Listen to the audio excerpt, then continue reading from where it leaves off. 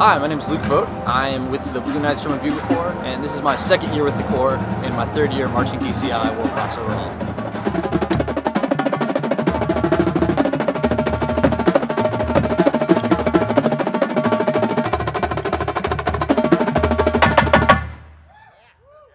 Uh, the energy in the lot is great because we have all of our fans um, who have come just to see us, and they're they've taken their time to you know get away from the show setting and get right up close in the lot and see us do our warm ups and uh, run the book truck and stuff like that. So it's really cool just to be able to see everyone's reactions, and it's kind of like a big family environment that we get to share the music we're playing um, with the people that want to hear it.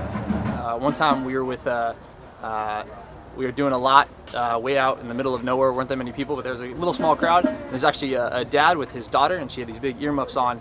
Um, and we talked to him afterwards, and he came up to her and told us that his daughter was deaf, and he found out that she was smiling because she could feel the music and she was enjoying what we were doing, um, even though she can't normally hear things. So that was a pretty cool experience for all of us, knowing that we got to share our music with someone who normally doesn't get to hear it.